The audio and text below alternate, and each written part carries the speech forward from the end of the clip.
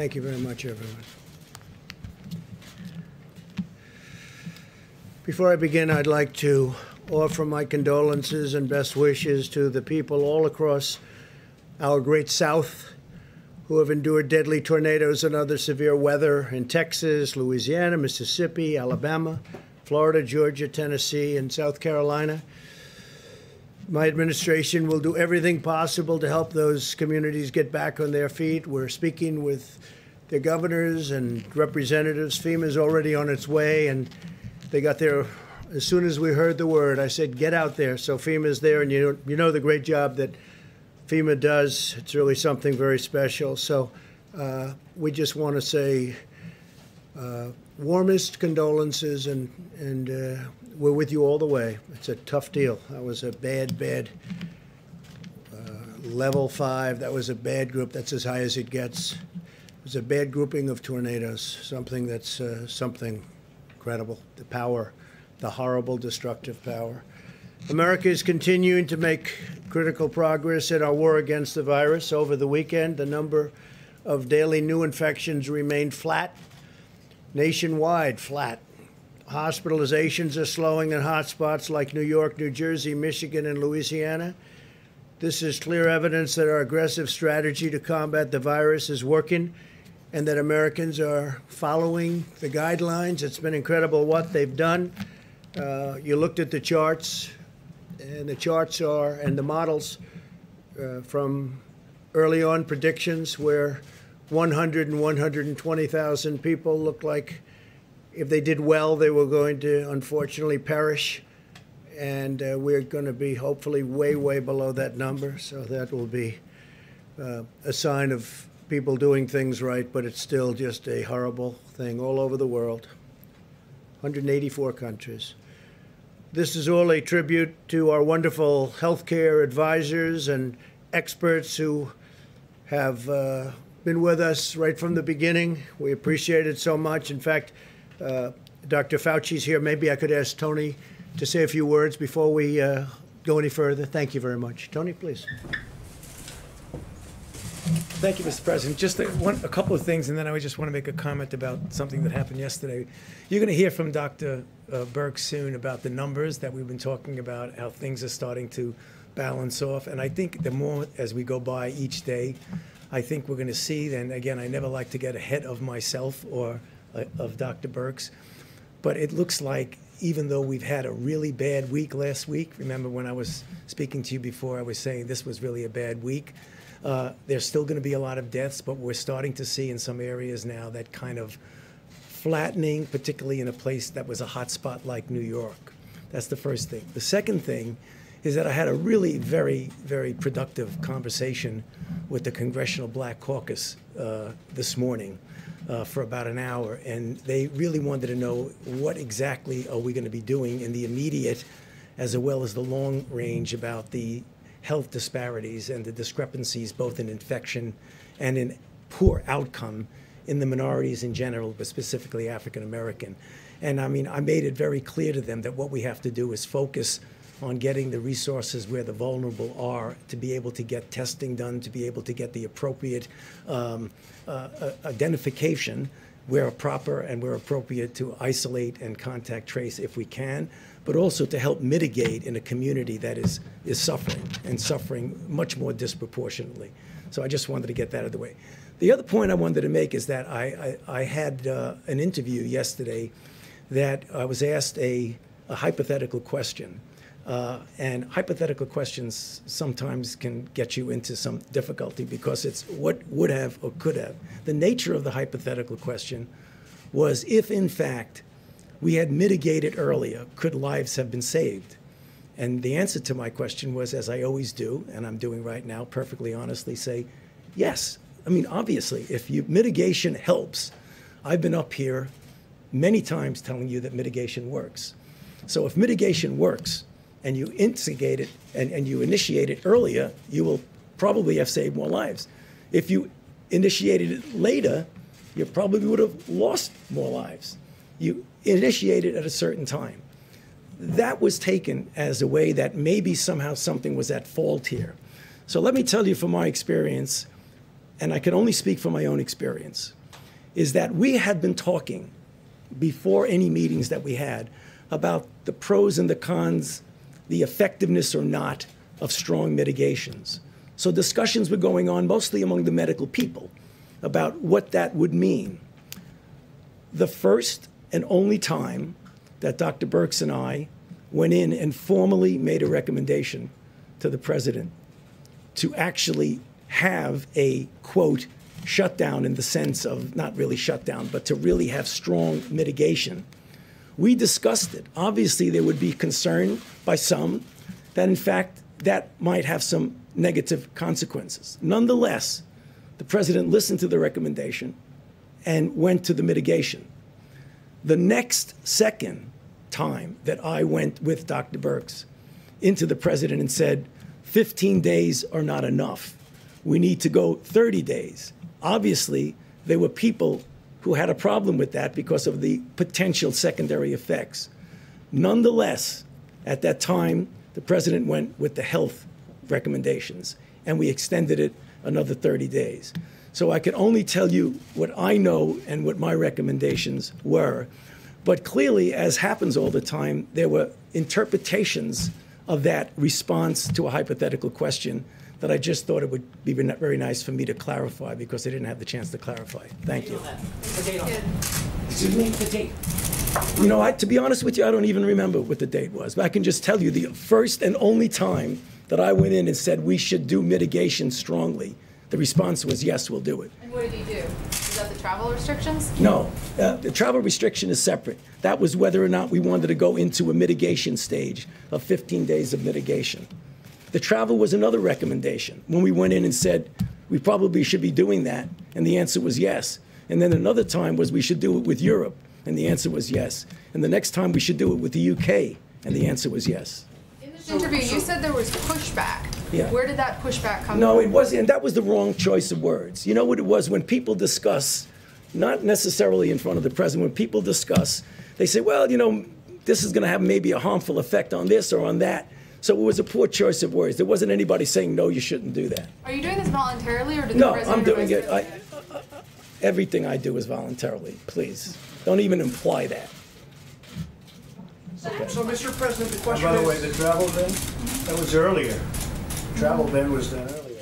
And if you look at statistics, I happen to write a couple of them down.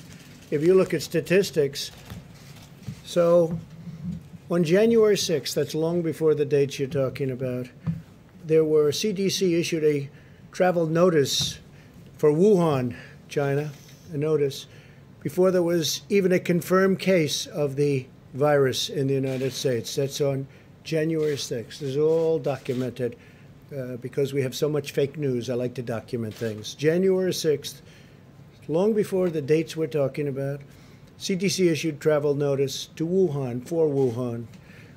On January 11th, we have zero cases in the United States. Zero. We don't have any cases. So there are no cases reported that we know of. This is January 11th. The CDC issued a level one travel notice health for health while there were still no confirmed cases. So we had zero cases. People want me to act. I'm supposed to close down the economy, the greatest economy in the history of the world, and we don't have one case confirmed in the United States. That's January 11th. On January 17th, the CDC began implementing public health entry screenings at three major U.S. airports that received the greatest volume of passengers from Wuhan at my instructions. There was not a single case of the coronavirus in the United States. So on January 17th, there wasn't a case, and the fake news is saying, oh, he didn't act fast enough. Well, you remember what happened. Because when I did act, I was criticized by Nancy Pelosi, by Sleepy Joe Biden. I was criticized by everybody. In fact, I was called xenophobic. I was asking Biden to please define that for me. I was called other things by Democrats and some others, not too many others, actually. So that eh, by the media, definitely. Now, on January 21st, is long before the time we're talking, because when Tony, Tony's talking, I believe he's talking about the end of February. On January 21st, okay, still early, there was one case of the virus. At that time, we called it the Wuhan virus, right? Wuhan. There was one case in the whole United States. We had one case. This is all documented. It all comes from you. A lot of it comes from you people. On January 21st, the CDC activated an emergency operations center. There was just one case, one person. That's why that ad was such a phony. There was one person in the United States. You know, they use the ad, there's only one person. That, that statement was made at that time. One case in the whole United States, one case. I'm supposed to shut down the government, the biggest, the biggest uh, economy in the history of the world. Shut it down. We have one case. Seven cases were on January 31st. Now, on January 21st, there was a case. Not one person had died. You heard that, Steve, right? Not one person. So we have this massive country, the United States of America.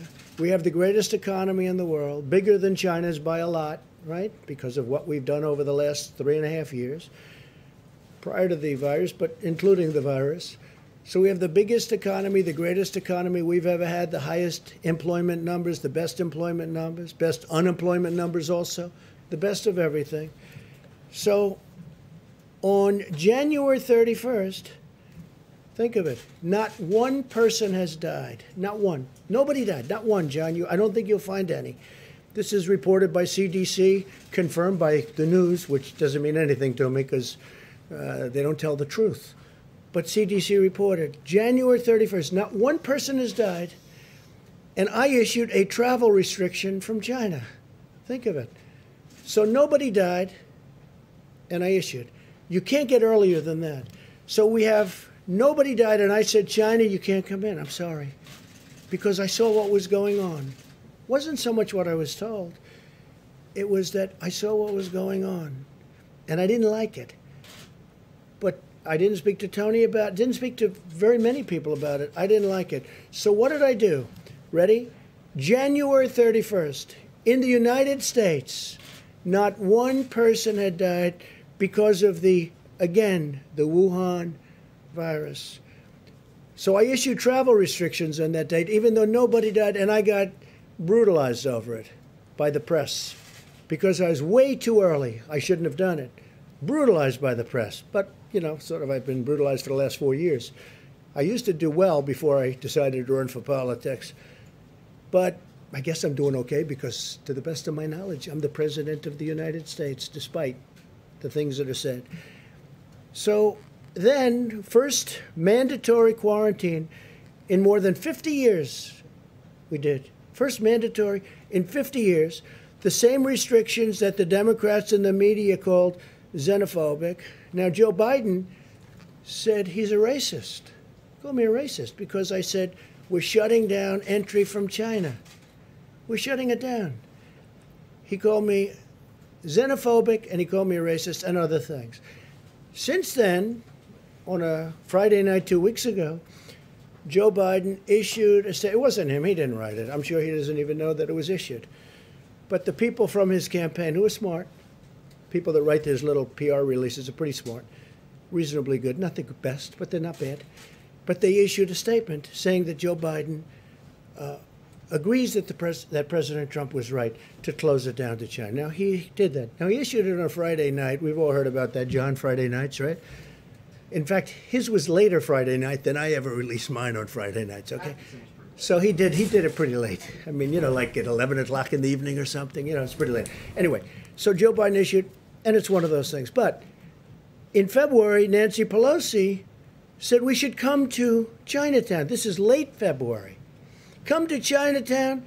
We think it's very safe. Come here. Let's all have the big parade, Chinatown parade, probably referring to San Francisco. And that's it. But I took this action early. And so the story in the New York Times was a total fake. It's a fake newspaper, and they write fake stories. And someday, hopefully in five years when I'm not here, those papers are all going out of business because nobody's going to want to read them. But now they like them because they write about me. Now, with that, I have a couple of interesting, we have a few uh, clips that we're just going to put up. We could turn the lights a little bit lower. I think you'll find them interesting. And then we'll answer some questions. I'll ask you some questions because you're so guilty, but forget it. Uh, but most importantly, we're going to get back onto the reason we're here, which is the success we're having. Okay? Uh, please, you could put it on. Thank you. People should be more concerned right now with the flu in this country. A lot of people are concerned about the coronavirus because they're hearing a lot of news about it right now. But the reality is, comparing it to the flu, for example, it's not even close to being at that stage. What if it is worse? I- i- Is this a moment where maybe countries put politics aside, a little bit of pride aside, and do we have U.S. officials? Should U.S. professionals such as yourself get involved? How worried should Americans be about coronavirus? Coronavirus is not going to cause a major issue in the United States.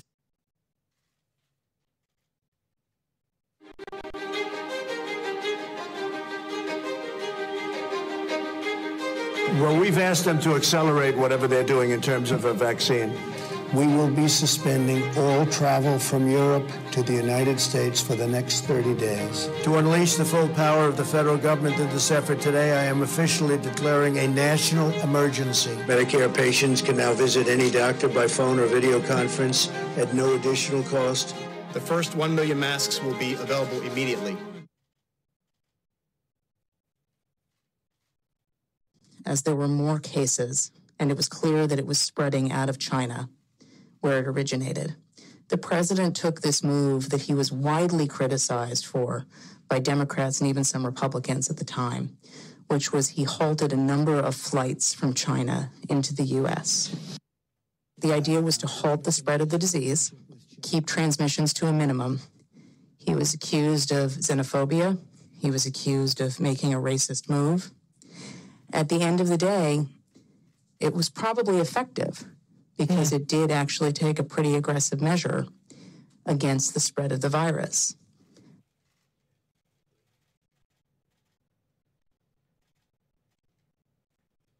His team is on it. They've been responsive late at night, early in the morning, uh, and they've uh, thus far been doing everything that they can do. And I want to say thank you, and I want to say that I appreciate it. He returns calls. He reaches out. Uh, he's been proactive. Uh, we got that Mercy ship down here in Los Angeles. That was directly because he sent it down here. 2,000 uh, medical uh, units came to the state of California, these FMS, these, these field medical stations. Uh, and that's been very, very helpful. The president has been uh, outstanding uh, through all this. The vice president's been outstanding. Members of the coronavirus task force, very responsive. We had asked if we could have, New Jersey could have access to a piece of the beds that are on the USNS Comfort, and the president came back, called me a short few minutes before I walked in here to say indeed they would grant that to New Jersey. So that's a big step for us in addition to all the other capacity. That news is literally hot off the press and I thank the president and vice president who are on the call together. President Trump approved Arizona's request for a presidential major disaster declaration. I want to thank the president for a quick turnaround. We requested this on a Wednesday and we had approval by Saturday morning. And we are grateful to the administration for their continued support and responsiveness. Well, first of all, I want to uh, thank uh, the, the, the president the vice president for doing a really good job of communicating with all the governors. So we could give you hundreds of clips like that from governors, including Democratic, or Democrat as I call them, governors, which is actually the correct term. Uh, we could give you hundreds of clips just like that. We have them.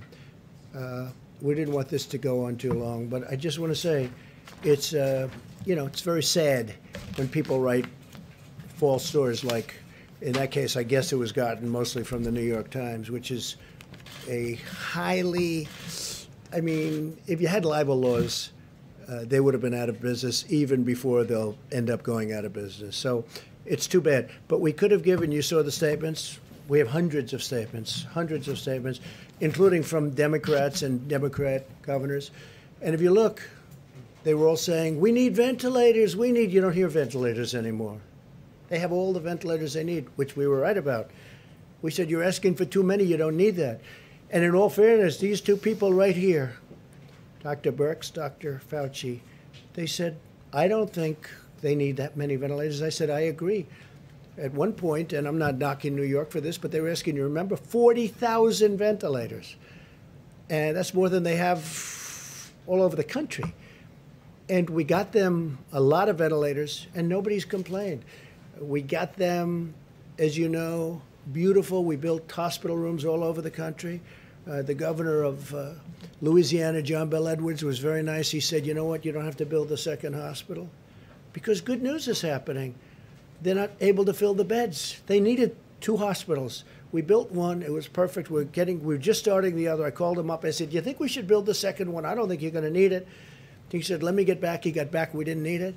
Uh, with uh, Governor Cuomo, in all good spirit and faith, he wanted to have the Jacob Javits Center uh, done, and we built 2,900 incredible beds. Incredible. Then we make it. Uh, we made it COVID and, or to be exactly accurate, COVID 19 and uh, which was a lot of work. We had to change the duct work. We had to seal up certain areas. We had to put areas of uh, rooftop things over the beds. We did a lot of work, and we had it, but they never really had too much use for it.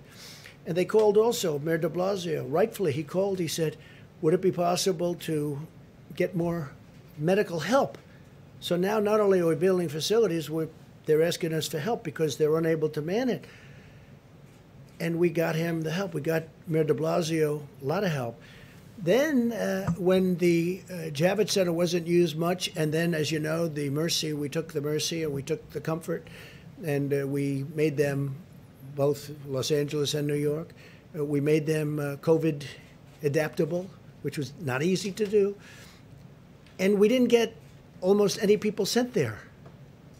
Uh, they didn't need them at the beginning because uh, they didn't need it for anything but this because there were fewer accidents, fewer motorcycles, fewer everything. And what we did was like an incredible job, but they didn't need them. It turned out they were there. We were ready. You know the expression, they have an expression ready, willing, and able. We were ready, willing, and able. What the Army Corps of Engineers did was a miracle. What, what FEMA did was a miracle. What the doctors did. So I got a call two days ago from uh, the mayor of New York. He said, could you help us even more with medical personnel? And we sent, uh, I think it was 448 doctors, nurses, and respiratory experts, real experts. And I got a call from the mayor, and he said, I want to tell you, incredible, these people are incredible. He said they lifted the spirits of the hospital workers from New York City like nothing I've ever seen. He, he was unbelievable what he said, was really appreciated. And I let them know that. I let the military people. He said they went in there so brave, so incredible. They lifted the spirits of everybody. We did all of this work, but when you read the phony stories, you nobody nobody acknowledges this, and it doesn't have to be acknowledged from my standpoint, but it does have to be acknowledged from the great work that these doctors, nurses, the Army Corps of Engineers, FEMA, all these people, they've done this incredible job, and they shouldn't be abused because you take a look at what's happened. Nobody's asking for ventilators, except outside of our country. Outside of our country, they're calling me, every country, they're calling me, so many countries, and I'm going to try and help them because we have thousands of ventilators being built. But nobody's asking for ventilators. Nobody's asking for beds because we built hospitals. I think we built 20,000 beds in a period of a couple of weeks. The job they've done is incredible. With all of that being said, I'm getting along very well with the governors. And if I wouldn't, Mike Pence had a call today with the governors, and it was like a 10. I said, How was it? He said, It's a 10. He used one of my expressions, actually. But he said it was like a 10. And I'm sure you people were probably on the call, although you weren't supposed to be. But you were sitting in somebody's office listening to it because every time we have these, and you know, and you would know that for weeks those calls have been very good. But there wasn't uh, a raised voice. There wasn't even a statement of like, we think you should do this or that. I heard it was like a, just a perfect phone call. Uh, it might not be reported that way. They'll say, I thought that somebody maybe slightly raised, didn't even raise a voice. My only, my only point of saying this, because I want to get back to why we're here. Uh, the press has not treated these incredible people who've done such a great job. They haven't treated them fairly. They're way off. We were way ahead of schedule. And remember this, because the Time story was a fake, but everything, remember this everything we did, I was criticized because I was too early. If I waited longer, it would have been you would have been criti- if I went way early, if I went three months earlier, I would have been criticized, you know, criticized for being way too early. So, with all of that being said, we understand it. Uh, I think I've educated a lot of people as to the press, and I would love to be able to say that we have a very honest press. Honestly, John, there'd be nothing I would be more proud of if the press would work. And I don't mind being criticized, but not when they're wrong. Not when people have done a great job. Yes. Can I ask you about the video? 'Cause I- I've never seen a video like that played in, in this room. Uh, it looks a, a bit like a campaign ad. Who who produced that video for you? Uh, that was done by a group in the office, and it was done just by, we just put some clips together. I could give you, uh, I'll bet you I have over 100 more clips, even better than them. They were just pieced together over the last two hours. That was just, oh, we have far better than that. That's nothing compared to some of This them. was produced here in the White House. Yeah, by, this uh, was done by uh, Dan and a group of people, and they just put it together in a period of probably less than two hours. Why did you feel need to do that? Because uh, we're getting fake news, and I like to have it corrected. Uh, they're saying what a great job we're doing, and the media. These are the governors of California, governor of New Jersey, governor of New York. Look, in New York, we work very close with Andrew. In New York, ventilators were going to be a problem. We, we didn't. They didn't have a problem. We got them tremendous numbers of thousands, but we got them tremendous number of ventilators. You don't hear ventilators are a problem. Beds were going to be a problem. I mean, I'm happy about it. The Javits Center, which is incredible, is almost empty because they don't need them. That's good news, not bad news. I, you know, I'm not saying, gee, I wish more people were there. I don't want more people there. We brought in the boat. We brought in the comfort, and the comfort was originally not supposed to be for this at all. The coronavirus was not supposed to be for that at all. They called, they said, could we have it? That was a number of weeks ago. We said, we don't think you need it, but if you need it, we'll do it. Then they said, could you get the medical personnel to run the Javits Center? Could you get the medical personnel to run the ship? We said, if it's necessary, we will, and we did. We, there were military personnel. That's the ones that Mayor de Blasio was so great to in terms of his statements. I mean, I really appreciated his statements. He was so impressed with them, and I am too. The level of, of uh, genius and bravery, they're great people, the military people. And we pieced that together. I would say it took less than two hours. It was done in house, Steve. Clear, This was produced by government employees, by, by people here at the White House. This campaign style. I, I wouldn't use the word pro- produced. All they did was took some clips and they just ran them for you. And the reason they did is to keep you honest. Now, I don't think that's going to work. It's not going to have any impact. But just think of it. You heard the clips. You heard what I said. They said, I acted late on closing down the country. Uh, some people wish we never closed it down. Now, if we didn't, we would have lost hundreds of thousands of people. You know, interestingly, so I'm, I'm against it. We did the right thing. Everything we did was right. If we would have You don't think you made closed down. mistakes along the way here. You think everything you did was Uh, right? Well, look, uh, governors should have had ventilators. They chose not to have them. We were able to get them ventilators. You haven't heard, other than, you know, there was a lot of panic, a lot of screaming. We want ventilators. They got the ventilators. You don't have that anymore. And the surge is supposed to be coming now. And if they do need ventilators, John, we've got almost 10,000 that are ready to rock. We have people standing with those ventilators right now. If you needed 2,000 in New York, which you don't, but if you did, we can have them here in less than 24 hours. We're ready to rock. This was a great. This was a great military and beyond that operation. Let's get back to the regular. Shouldn't we get back to the regular? We can talk about this, but all I'm doing is this. I could have given you like those are four or five clips that we just played for you.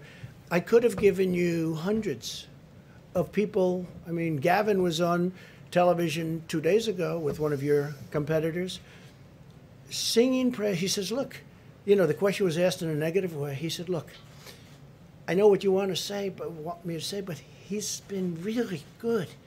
It's hard for me to say that. In fact, it's impossible for me to say. Gavin Newsom, the governor of California. Uh, I have many clips from many. I have some clips from Anthony that I didn't want to put up, which were really good. I think Anthony would be the first one to say, when I closed the country to China, when I closed the, the China ban, whatever you want to call it, uh, Anthony said I saved a lot of lives by doing that. I mean, am I correct? I- I don't want to put words in Anthony's mouth, by the way, and I like him. Today I walk in, I hear I'm going to fire him. I'm not firing him. I think he's a wonderful guy. tweet something that said fire Fauci? Why did you fire Fauci? I retweeted somebody. I don't know. They said fire. Doesn't matter. Did you notice that when you retweeted Yeah, it? I, I notice everything. Tweeted it even though it said time to fire No, Fauci. no, that's somebody's opinion. All that is is an opinion. And you elevated No, it. I was called about that. I said, I'm not firing. In fact, if you ask your friends in the office, in the public relations office, I was immediately called upon that. And I said, no, I like him. I think he's terrific because this was a person's view. Not everybody's happy with Anthony. Not everybody's happy with everybody. But I will tell you, we have done a job the likes of which nobody's ever done. The mobilization, getting of equipment, all of the things we've done. Nobody's ever done a job like this. We have 50 governors and territories, by the way. People don't ever mention that. We have territories. We have 50 governors and territories, and many of those governors are Democrats, and they can't find anything to complain about. And honestly, many of them didn't do their jobs. I'll let you know someday. Let's see what happens. But I may let you know who's not doing their job. I can tell you the ones that are good, both Republican and Democrat, and the ones who don't know what they're doing. But we help some of the ones that don't know what they're doing. They should have had their own stockpiles. And now, if they want, we can build them stockpiles of ventilators. The hardest thing is a ventilator because it's expensive, it takes a while to get. We got them, and nobody believed we did. Now, many of the governors were asking for far too many. And we said they were asking for far too many. We talked and we said, you said very strongly that they just don't need that many. You said they don't need that many beds, Deborah. So that's it. Steve, go ahead. Dr. Fauci are on the same page. Yeah, we have been from the beginning.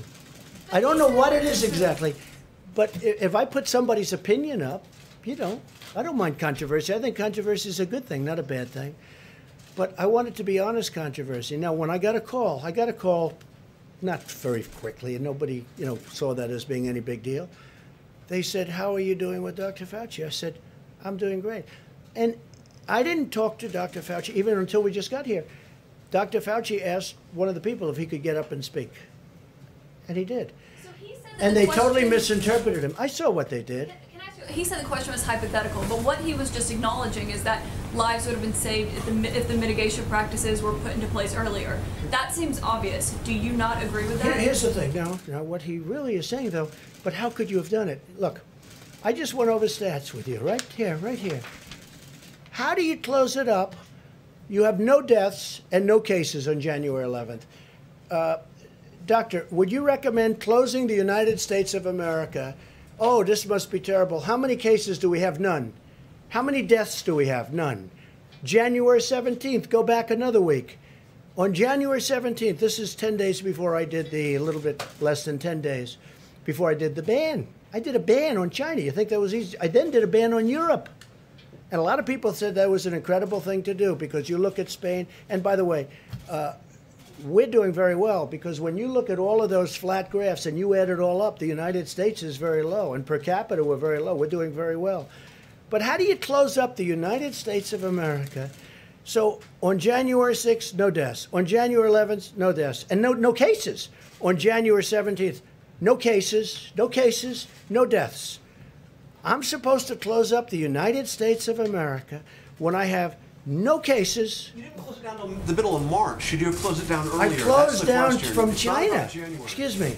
I closed it down from China. And by the way, some people think I should have waited longer and maybe ridden it out. I disagree with them, okay? But it was thought of. I mean, that was an alternative. You know, there are a lot of people that would have said, let's write it out. Now, I'll give you the, the, the good news. If I would have done that, it would have been, I think, catastrophic. Because their numbers are, Anthony, 1.6 to 2.2 million people would have died if we tried to do that. And I did this last time. Cut it in half. Don't say 2.2 million. Cut it in more than half. Say a million people died. Well, that's much more than the Civil War.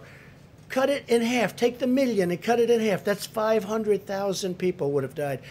Now, that number we would have reached, okay? That would have been easy to reach if we did nothing. So we did the right thing, and our timing was very good. But here's the one thing, and you have to say this. When you ask me, why didn't you do this? How come when I did the ban on China and some very, very instituted some very tough things, how come Nancy Pelosi a month later is in Chinatown saying, let's all march, this is not going to happen?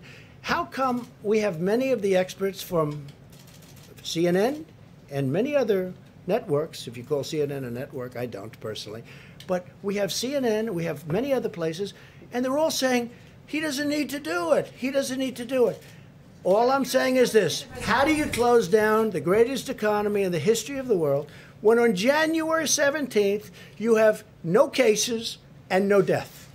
When on January 21st you have one case and no death. One case. Think of that. Now we're supposed to close down the country, but here's what happened.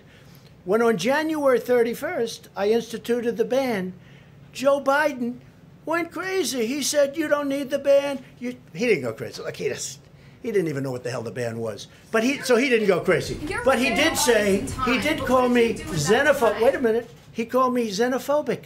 He called me a racist because he has since apologized and he said I did the right thing. So when you say, "Why didn't you this?" Every Democrat thought I made a mistake when I did it. I saved tens of thousands, maybe hundreds of thousands of lives by that putting time that you bought the argument is that you bought yourself some time and you didn't use it to prepare hospitals you didn't use it to ramp up testing right you're now so you're so 20 million you're so disgraceful. It's so disgraceful the way you said it. Let, let me just listen. dead. I How just went over it. Or this rant supposed to make people I just went over in it. an unprecedented crisis. Nobody thought we should do it, and when I did it, But what did you do with the time that you bought? You know what the we month did. of February. That, You that know what we did? gap. What do you do? Month of February. What do you do when you have no case in the whole United States? when you, you excuse me, you reported it. Zero cases, zero deaths on January 17th. January, February, the entire January- month of I said in February. Your video January. has a complete gap. On January 30th. What did your administration do in February with the time that your travel ban botched? A lot. A lot. And in fact, we'll give you a list. What we did, in fact, part of it was up there. We did a lot. Look, look. You know you're a fake. You know that. Your whole network, the way you cover it, is fake. And most of you, and not all of you, but the people are wise to you. That's why you have a lower a lower approval rating than you've ever had before, times probably three. And when you ask me that question, Tens of thousands let me ask you this. Why didn't Biden? Why didn't? Why did Biden apologize? Why did he write a letter of apology? right now care No, that's very important. Why did the. Democrats think that I acted too quickly? You know why? Because they really thought that I acted too quickly. We have done a great job. Now, I could have, I could have kept it open. And I could have done what some countries are doing. They're getting beat up pretty badly. I could have kept it open. I thought of keeping it open because nobody's ever heard of closing down a country, let alone the United States of America. But if I would have done that, we would have had hundreds of thousands of people that would right now be dead. We've done this right, and we, we really, we really have done this right.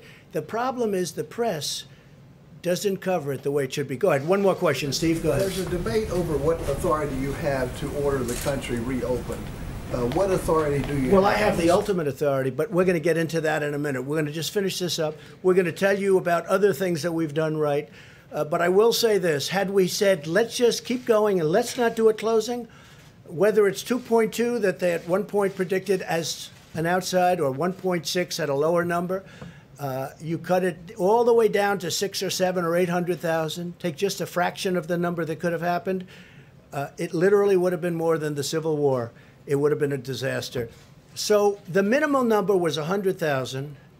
And I think I feel pretty good that we're going to be substantially below, Anthony, the 100,000. And I hope we will. All right, so today, the Department of Health and Human Services is announcing five new contracts to procure large numbers of additional ventilators under the Defense Production Act, which we used a lot, by the way, which you didn't like to talk about, in addition to the 1,300 we received today. We received today 1,300 additional ventilators. Now, we're probably not going to need them, but we can add that to our stockpile, which is very big, and we can move it around should the surge take place and should it be a very substantial surge. We're ready to we're ready to rock.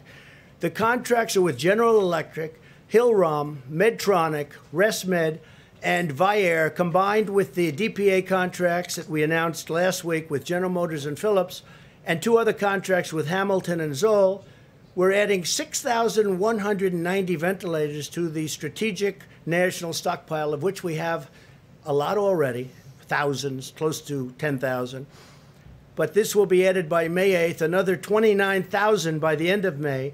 and more than 120,000 total we will have by uh, the end of the year. Now, we're going to help other countries. We're going to help states if they need it. We may help some states stockpile. You know, they're supposed to buy their own stockpile. They have state stockpiles. They're supposed to be using that. And unfortunately, most of the states weren't there. And, and a lot of people didn't want to talk about it, but they weren't there. Uh, we will talk about it at the right time if you want to. I, I at this point, uh, I'm more focused on getting past this nightmare of a epidemic or a pandemic, anything you want to call it. We got to get past it. No one who has needed a ventilator has not gotten a ventilator. Think of that. You know, you heard all about ventilators, ventilators. We need ventilators because they didn't have them, because the state should have had them. No one who has needed a ventilator has not gotten a ventilator. No one who has needed a hospital bed has been denied a hospital bed. That's not even really our responsibility. Now, if we can help, we're going to do it. But that's where the Army Corps of Engineers did a, such a great job. We built over 20,000 beds. In fact, we built thousands more than we've actually needed to be safe. We wanted to be safe, and we really, they rose to this incredible occasion. I mean, we built uh, more beds than we thought. We thought in Louisiana we were going heavy. And again, when I called the governor, I said, maybe we shouldn't build that second hospital because we don't want to build it if you don't need it. He called back. He said, I don't think we're going to need it.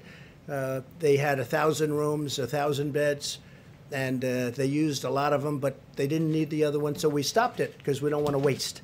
But we're prepared to build thousands more should we need it. I don't think we're going to need it because it looks like we're plateauing and maybe even in many cases coming down.